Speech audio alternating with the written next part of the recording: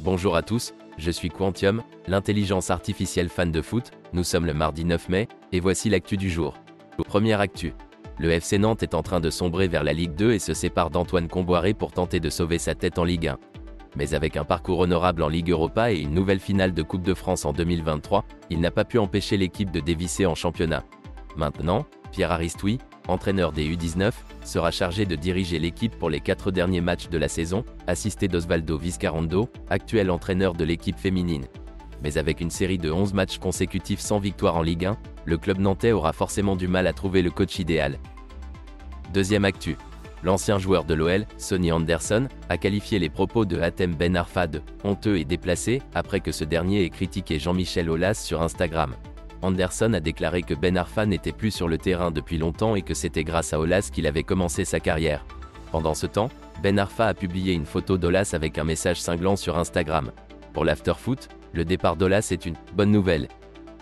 Troisième actu. Le PSG a encore une fois montré sa faiblesse en réintégrant Lionel Messi après avoir séché un entraînement pour rejoindre l'Arabie Saoudite sans l'accord du club.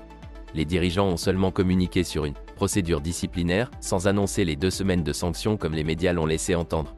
Le club a donc bien sanctionné son joueur à la faute qui a présenté ses excuses publiques vendredi. Mais cela ne suffit pas à masquer les problèmes extrasportifs récurrents du PSG, comme l'a souligné Thierry Henry.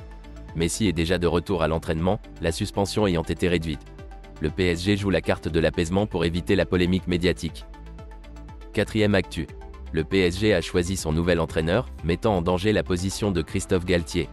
Les dirigeants qataris veulent remplacer Galtier par un grand nom, et José Mourinho est le favori pour prendre sa place. Les récentes sorties médiatiques de Mourinho ont alimenté les rumeurs de son départ imminent de l'AS Rome. Le PSG a déjà dépensé 96 millions d'euros sur le mercato, validant totalement leur choix. Le club de la capitale n'a pas encore contacté l'entourage de Mourinho, mais l'opération est lancée. Le futur de Galtier est incertain, avec 9 défaites concédées en 2023. Cinquième actu. Lance OM, le match qui a vu Dimitri Payet gifler Yannick Cahuzac. Une altercation a éclaté entre les Lensois et les Marseillais après un ballon envoyé par Facundo Medina en direction du banc olympien. La commission de discipline de la LFP devrait se saisir de son cas et le sanctionner sévèrement. Le règlement disciplinaire de la FFF indique une possible suspension de 7 matchs, mais la jurisprudence disciplinaire tourne plutôt autour de 4 à 5 matchs de suspension. La saison compliquée de Payet pourrait donc prendre fin. Sixième actu l'OL a remporté un match fou contre Montpellier, avec un quadruplé d'Alexandre Lacazette. Un fan de l'OL a même parié de courir nu autour de son immeuble si l'équipe gagnait. Mais le MHSC a vécu un nouveau cauchemar, avec une remontada incroyable de l'OL. Et bien sûr, il y a eu une polémique arbitrale, comme toujours dans les matchs épiques. Mais Lacazette, lui, a savouré ce moment, rappelant qu'il est revenu à Lyon pour vivre de telles émotions. Septième actu. Le PSG et le Cup vont se rencontrer, mais est-ce que cela va vraiment changer quelque chose? Les supporters parisiens ont été interdits de stade lors du match contre 3, et certains ont même été bloqués au péage. Le club a annulé tous les billets du Cup en réaction aux manifestations devant le domicile de Neymar. Mais le Cup dénonce cette décision et la tension ne cesse de monter entre les deux parties. Une banderole hostile à la direction a même été déployée devant le Parc des Princes. Tout cela ne présage rien de bon pour l'avenir. Huitième actu. Neymar, la star brésilienne du PSG, blessée jusqu'à la fin de la saison, pourrait quitter le club parisien le PSG cherche à baisser sa masse salariale et un départ de Neymar pourrait être la solution. Malgré des statistiques correctes cette saison, le joueur n'a plus la cote chez les Rouges et Bleus. Le PSG est prêt à faire des concessions pour se séparer de lui. Neymar aurait accepté de partir, mais pas en Arabie Saoudite. Le PSG serait disposé à le prêter avec une option d'achat pour le rendre plus abordable sur le marché. Reste à savoir si Neymar acceptera ces conditions ou s'il refusera son départ forcé. 9 actu. Le PSG est en ébullition. Lionel Messi est courtisé par Al Hilal qui a sorti l'artillerie lourde avec une offre de 400 millions d'euros.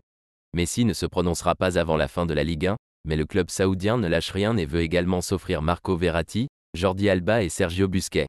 L'avenir de Messi s'inscrit probablement du côté de l'Arabie saoudite, et l'aventure parisienne de l'Argentin touche à sa fin. Le PSG est en train de perdre ses stars les unes après les autres, et cela ne présage rien de bon pour l'avenir du club. Dixième actu. Alerte à l'OM le club olympien a perdu sa deuxième place après une défaite face au RC Lens. Et comme si cela ne suffisait pas, Alexis Sanchez et Samuel Gigot ont été contraints de sortir sur blessure. Mais les nouvelles ne sont pas toutes mauvaises, car Gigot a reçu des nouvelles rassurantes après des examens médicaux. Et pour couronner le tout, l'arbitre Clément Turpin a annulé le but d'Alexis Sanchez avec l'aide de la VAR, mais il a été innocenté. Tout cela est bien sûr incompréhensible pour l'OM, qui a même discuté avec Turpin après le match. Mais bon, que voulez-vous? L'arbitre vidéo ne fait pas l'unanimité. C'en est fini pour l'actu foot du mardi 9 mai. Merci à tous d'avoir écouté, et à demain.